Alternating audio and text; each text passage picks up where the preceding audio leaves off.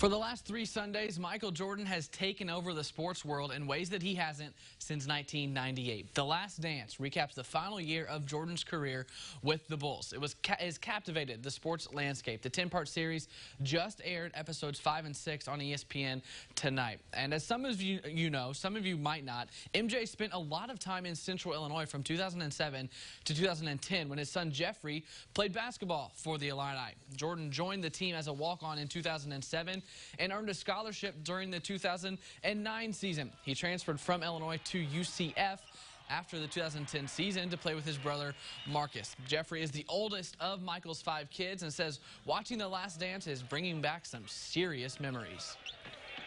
Definitely nostalgic, you know, and uh, emotional. Uh, definitely just positive vibes and, and thinking about those old times and, and what it was like growing up. And probably half of it is, you know, moments and things that you remember, and the other half of it is new stories, new perspectives that uh, that are really cool and, and they kind of inform you about yourself a little bit and what it was like going through that time. But overall, man, it's been awesome. We have the full four-minute interview from our partners at WGN on our website. There are four episodes of The Last Dance left. Two will air each of the next two Sundays.